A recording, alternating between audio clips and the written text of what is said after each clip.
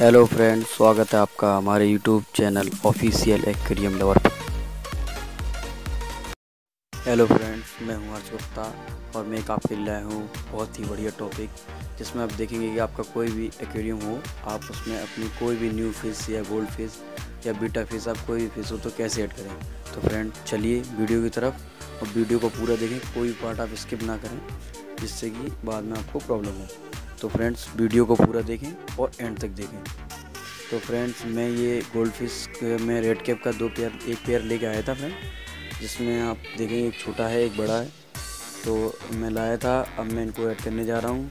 तो फ्रेंड्स आप क्या करें, पहले भी कोई नई फ़िश लाएँ तो उनको ऐड पहले तो उसका जो होता है टेम्परेचर को सेट करें। यानी टेम्परेचर जो एक्वेरियम का वाटर है और जो आप शॉप से लाए हो तो उस वाटर का जो होता है टेम्परेचर अलग होता है, उसके यहाँ से कैसा हो तो आपको क्या करना है, आपको अपना जो है टेम्परेचर सेट करना है। कम से कम आध घंटे तक आपको अपने एक्वेरियम में मछली डाले रखना है। तो फ्रेंड्स आपको आधे घंटे तक अपने एक्वेरियम में मछली पैकेट जो आप पॉलीथीन में लाए हो, उसको उस एक्वेरियम में ऐसे ही रख दें। तो जब आपका आध घंटा हो जाए, उसके बाद आप एक्वेरियम से पॉलीथीन को निकालें और उसको खोलें।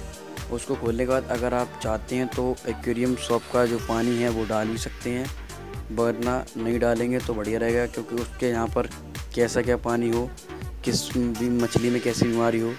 तो फ्रेंड्स, आप देख कर लें और जब भी आप मछली लेने जाएँ तो उसको देखें गौर से कि उसमें किसी तरीके का रेड स्पॉट, वाइट स्पॉट या कहीं फन उसके जो फिन है वो कट नहीं रहे हों।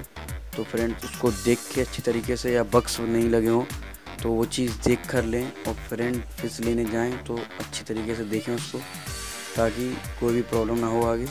और फ्रेंड जब आपका वह हाफ़ हाफ़ आवर हो जाए तो आप पैकेट में से फ़िश निकालें और उसका पानी चाहें तो ऐड कर दें, नहीं तो आप पानी निकाल भी सकते हैं।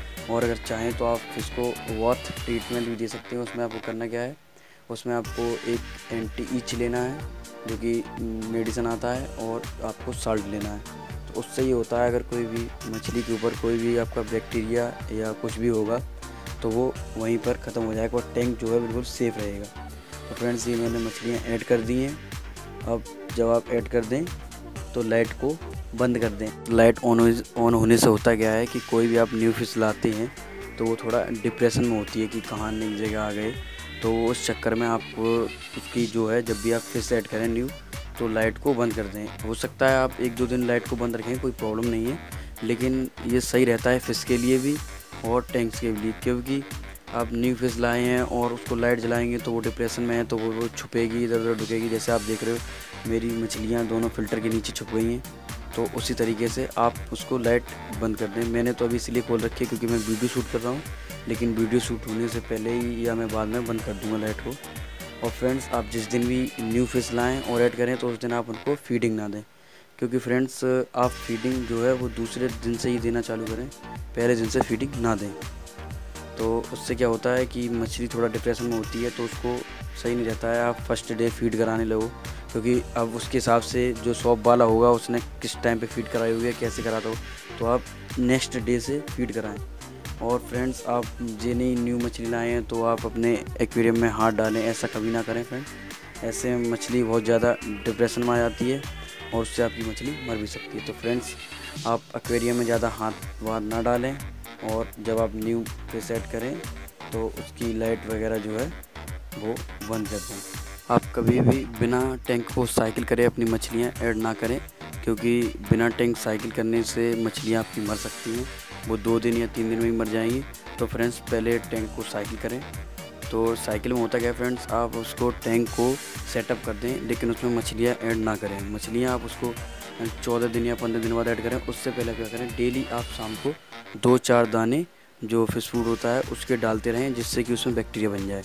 अगर बैक्टीरिया बन जाएगा, आपका चौदह पंद्रह दिन के अंदर बैक्टीरिया बन जाएगा। फिर आप उसमें जो है न्यू फ़िश ऐड कीजिए। मेरा तो फ्रेंड्स ऐसा था, मेरे पास जो मेरा पुराना एक्वेरियम था, उसका मैंने फ़िल्टर इसमें यूज़ किया है। आप ऐसा भी कर सकते हैं, अगर आपके घर में कोई पुराना एक्वेरियम हो तो आप उसका फ़िल्टर या उसका वाटर यूज़ कर सकते हैं। तो ऐसे करके आपको साइकिल करने की ज़रूरत नहीं पड़ेगी, आप डायरेक्टली फ़िश ऐड कर सकते हैं। लेकिन अगर आप न्यू फ़िश ला रहे हैं और न्यू टैंक है, न्यू सेटअप है तो आप फिर आपके कोई फ्रेंड्स हो, उसके पास अगर कोई फ़िल्टर हो, जो उसके यहाँ यूज़ हो रहा हो तो आप वो फ़िल्टर को अपने यहाँ एक्वेरियम लगा सकते हैं।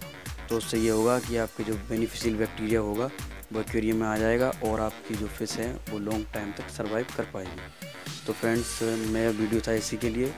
अगर आपको वीडियो सही लगे तो आप लाइक करना और फ्रेंड्स वीडियो को मैंने देखो लाइट ऑफ़ कर दिए, क्योंकि मैं नहीं चाहता अब ये देखिए आप मछलियाँ कैसे बाहर निकलने लगी हैं। तो फ्रेंड्स फ़र्स्ट डे फीडिंग ना कराएँ और फ्रेंड्स मछलियों का ख्याल रखें।